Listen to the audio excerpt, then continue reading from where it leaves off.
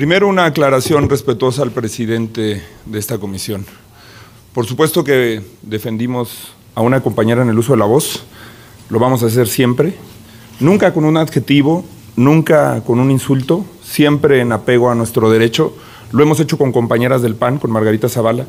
Lo hice como compañero de Delfina Gómez, le pueden preguntar las compañeras y los compañeros de Morena, porque aquí hay quien cambia de principios dependiendo de si es gobierno o no.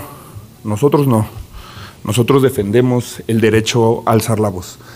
Y miren, sí le pusimos atención. Nos vamos a basar en la presentación del director de Pemex para evidenciar una serie de mentiras, de inconsistencias, de falsedades, de verdades a medias. Y además, con mucho respeto y humildad, yo sí estudié economía y mi director de tesis, por cierto, fue Carlos Ursúa, para que no haya descalificaciones por esa vía. El director dice que Pemex pagó en tiempo y forma sus impuestos. No es cierto. Les han dado una prórroga eh, para la utilidad compartida en extracción de hidrocarburos. El gobierno le ha estado dando prórrogas a Pemex. Dice el director que Pemex no tiene presupuesto de Hacienda, sí tiene. Revisen, nosotros tenemos ahora el proyecto de presupuesto de egresos de la Federación. Ahí viene en el capítulo E de Empresas Productivas del Estado, 636 mil millones de pesos considerados para Pemex, 172 mil millones de pesos para los costos financieros, es decir, el servicio de deuda de Pemex, de los cuales 142 mil millones son de esta empresa en particular.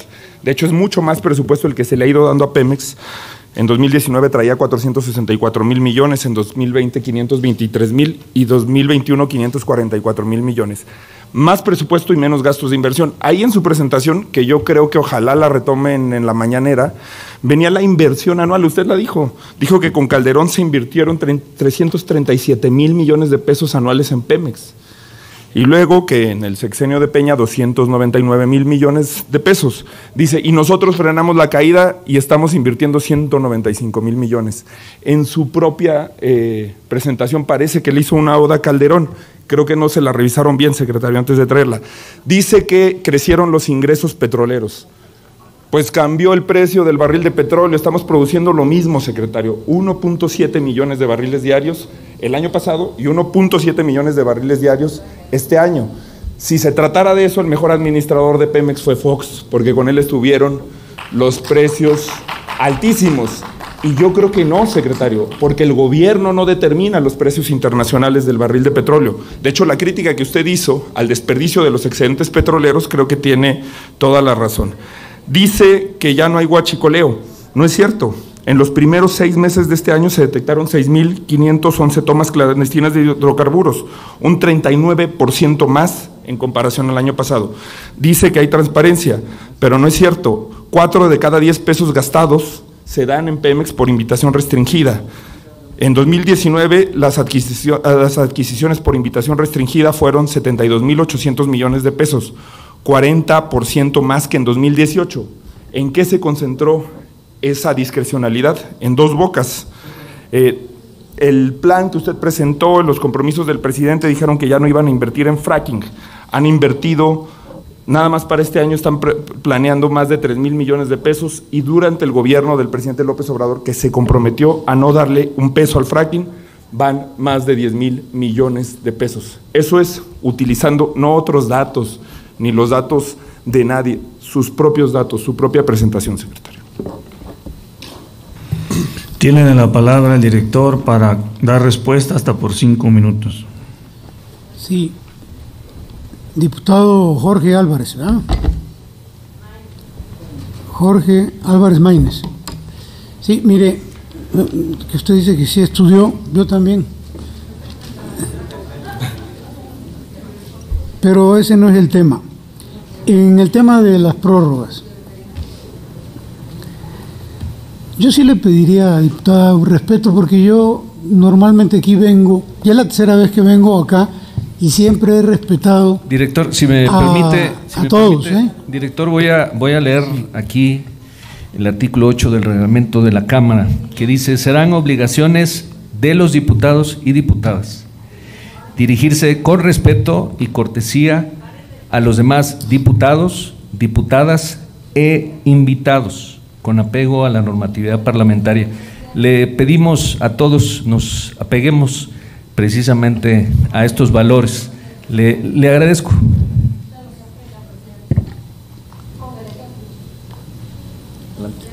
Muy bien, eh, con relación a, a los, eh, a las prórrogas del gobierno federal, yo les comentaba hace un momento que el año pasado fue un año muy difícil por la caída en las ventas de Pemex, que nos obligó a, a muchas de las deudas con nuestros proveedores trasladarlas a este año. Y hemos tenido problemas de flujo sin, ningún, sin ninguna duda y hemos recibido principalmente la facilidad de desfasar de un mes a otro el pago de nuestros impuestos. Pero invariablemente los pagamos. Son 20, 25 días de diferimiento en espera de que tengamos flujo en la caja para poder pagar. Es un tema que nosotros le agradecemos profundamente a la Presidencia de la República y desde luego a la Secretaría de Hacienda, porque de otra manera no podríamos. Pero de que pagamos, sin ninguna duda, en estos momentos de flujo, pedimos esos días y cuando, cuando tenemos en, en caja, de inmediato pagamos.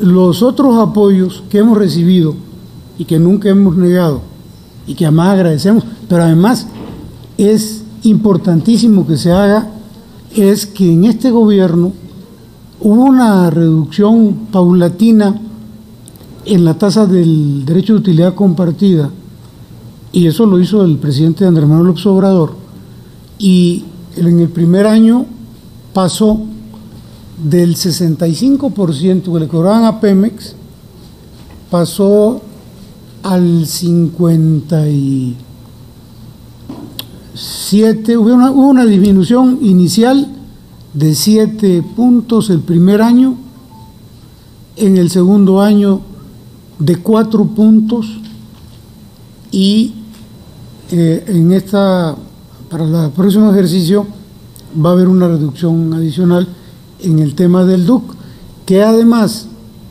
es lo más inteligente, lo más razonable y que se debió haber hecho desde hace muchísimos años. Porque sabe usted una cosa, diputado, que ocurría, que era tanta la carga fiscal de Pemex, que cuando Pemex tenía 500 mil millones de pesos antes de impuesto, el impuesto era del orden de 600. Entonces había que usar los 500 mil que se tenían en caja y salir con la banca a solicitar 100 mil de préstamo para poder pagar impuestos. Gran parte del el endeudamiento de Pemex obedece a esa irracional carga tributaria que ha tenido históricamente Pemex. Eh, de manera que esta es la explicación. Ha habido una reducción en la carga fiscal en cuanto a lo que usted señala de dos bocas, en efecto, pero siempre se ha dicho, ¿eh? Dos Bocas es una refinería que se está construyendo con recursos federales. Eso fue desde el principio, lo anunció el presidente de la República desde que estaba en campaña y todo el dinero que se ha destinado a Dos Bocas y que se va a destinar hasta el momento de su inauguración corre por cargo de el gobierno federal. Y finalmente, diputado, para completar bien la información, decirle que en el, la administración pasada, en tres años o cuatro, la deuda de Pemex se duplicó, pasó de un billón de pesos en cuatro años a 2.2 billones de pesos. ¿Dónde está el dinero? ¿Quién sabe?